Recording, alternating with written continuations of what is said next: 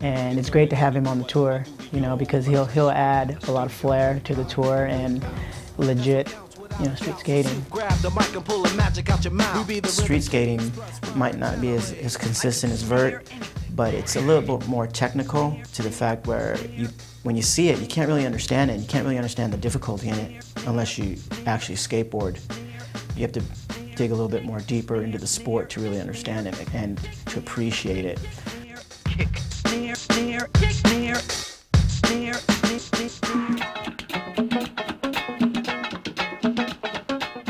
It just rained all day. Like I was, I pretty much written the day off. I really wasn't ready to skate. I was just thinking, it's just rain, it's cold, it's windy. It's kind of miserable. It's, this isn't the day for skating anyway. I guess Tony put in a call and uh, sun came out. Once again, the sky started clearing and the clouds broke up just enough that they could get the park dry. Right, not in the street, not in New York, not in the street.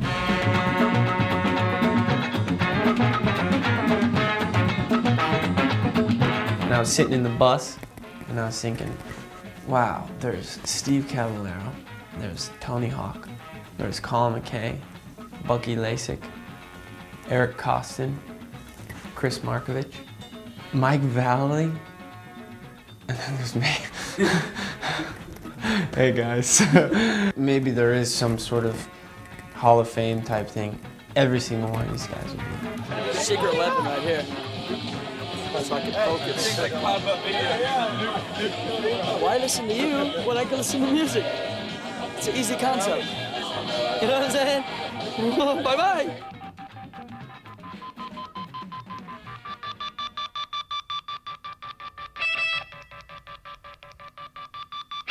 The Chelsea Piers Park, everything's tranny, everything's got coping. It's pretty much a vert park that's made for inline and bikes. It was more along the lines of like a old. Actually, when you think about it, an old X Games course.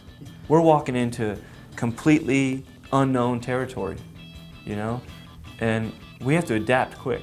I mean, it's the hardest part. You go someplace you've never skated before, you don't know where, you don't even know what to hit. You don't know what's good, what's bad. Once again, we've got such a good crew that everyone's got their own specialty and, and we can figure out something to do.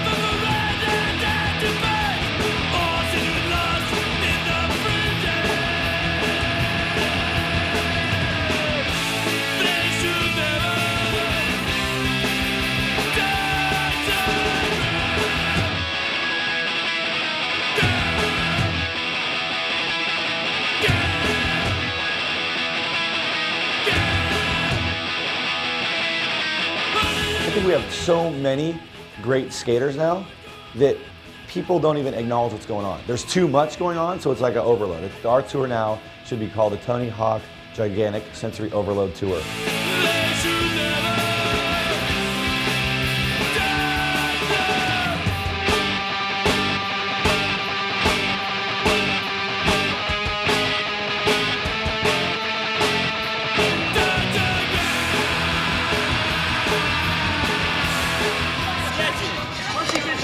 It's wet, and it, there's no push-up room, and it's dangerous, and it's high. All the rest is stuff.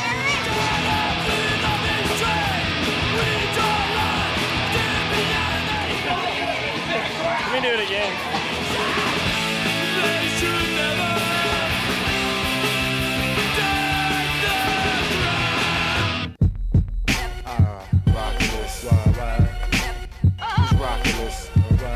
If we had a bigger course, it would have been a lot of fun. had, there was a lot of us out there, and then you throw in the bikes in the mix, and they kind of go against the grain of like what skateboarders do as far as like the lines we take. So, and it's gotta it's gotta suck for them because there's two of them, you know, and and then like seven of us out there skating.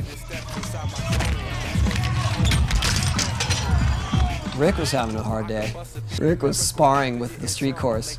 I don't know. I just I, I just fell all over the place. Like I hurt my shoulder, I hurt my ribs, I got the wind knocked out of me. It just it's embarrassing because when you're out there riding and these people are watching you, and you're like, I can't get it together.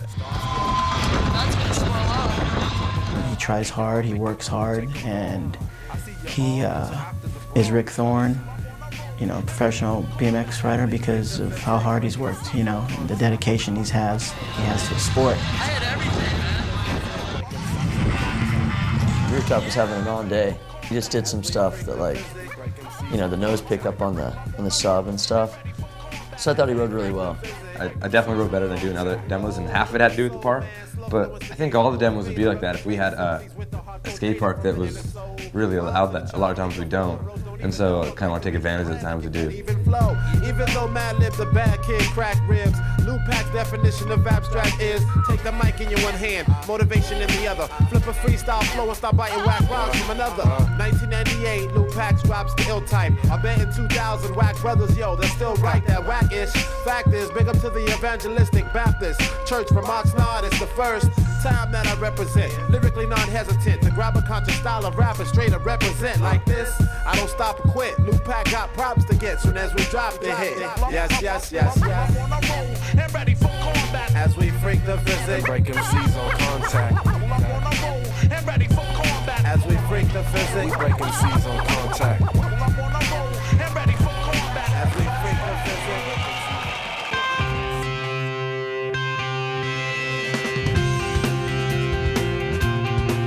Mike V's always looking for the big drop, and so we found the big King Kong drop, so to speak.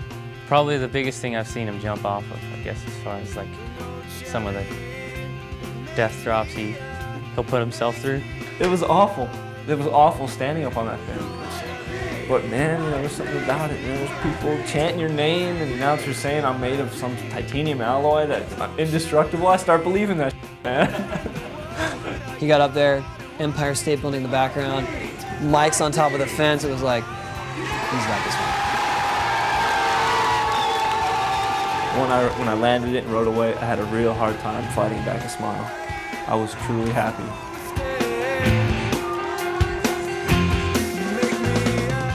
so rad. Oh man, it was terrifying, dude. That was exciting. That was very exciting. How exciting was that?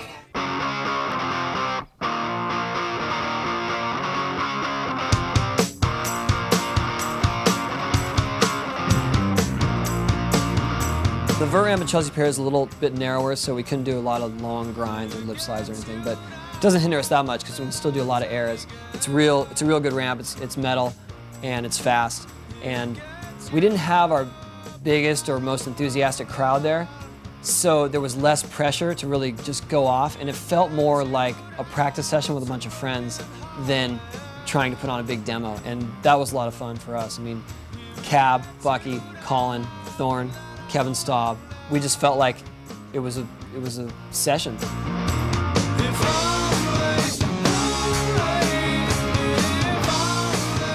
Yeah, demo went off pretty well. I thought the vert ramp was was you know small, but it, it was uh, good enough to allow us to do some stuff to show the people in New York that probably don't get to see vert, vert skating that often what it's all about.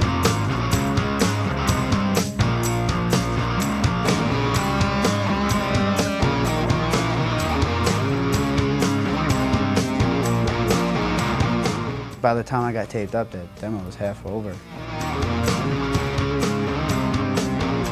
Broken wrist is one injury that you can keep standing on, actually. It's just a matter of dealing with the pain and figuring out what you can do with only one hand operable. And it's his leading hand that he hurt, so his indie hand, which he does all of his heel flip variations with, is fine. So Bucky was all right.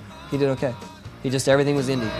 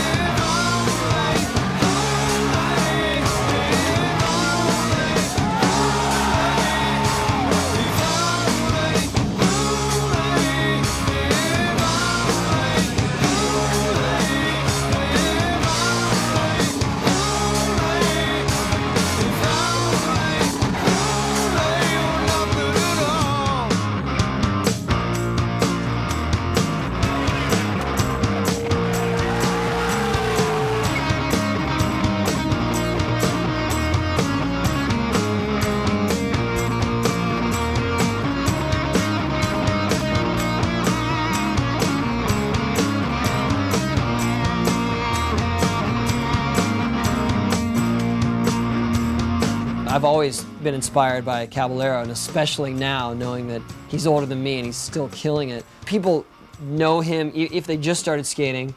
They know him as one of the as one of the top pros today, even though they may not know that he was one of the top pros in the early '80s when I was first skating, and when I was looking at magazines, going, "Look at this guy's doing six-foot airs! It's crazy," you know. And Cab and Kevin and I were stoked that we get to still be out there doing demos. I mean, we just feel blessed.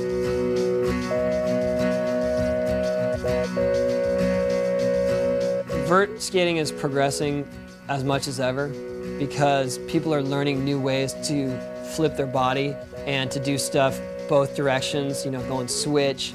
There's kids growing up now that they learn to skate both ways. I don't even think they're gonna have a normal stance. It's still evolving and that's what I always have loved about it is that there's, I know there's always something new to learn. We're not the, the biggest innovators anymore, but we love the, that it's still being innovative and it's still, there's guys coming up with new stuff all the time and we're just like, yes, that is sick. I would never want to try it, but good job. We feel fortunate that we can do what we love to do for so long and keep it going. And I wouldn't want to be out there if I felt like I was just going through the motions, doing the same old thing every time. I feel like I've still got something to give and I want to keep doing it.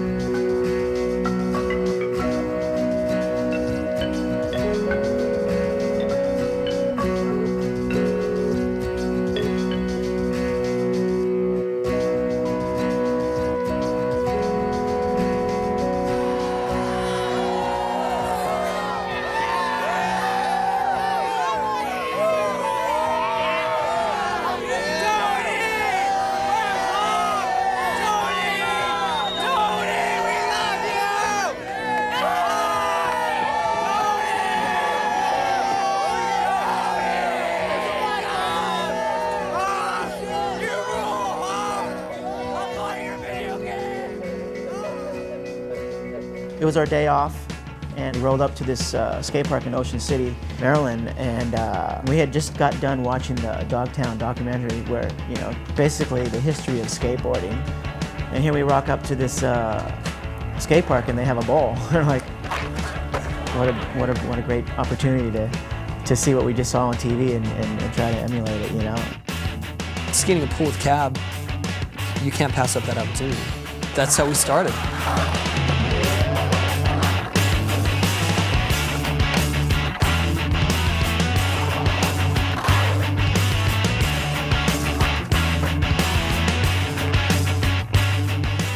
Cool seeing Tony and uh, Staub and Ellis all ripping it.